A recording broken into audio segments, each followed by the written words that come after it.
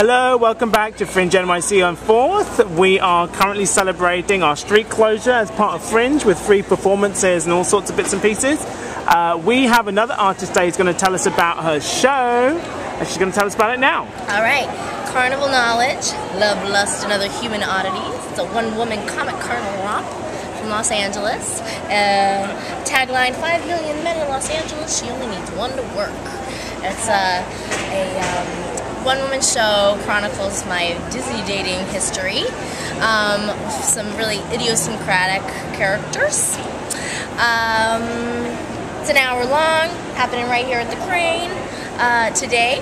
That uh, 3 p.m. today, and then next Wednesday at 2:30, and next Friday at 6:15. Perfect. Thank you. Want to give us a twirl? Uh, a twirl.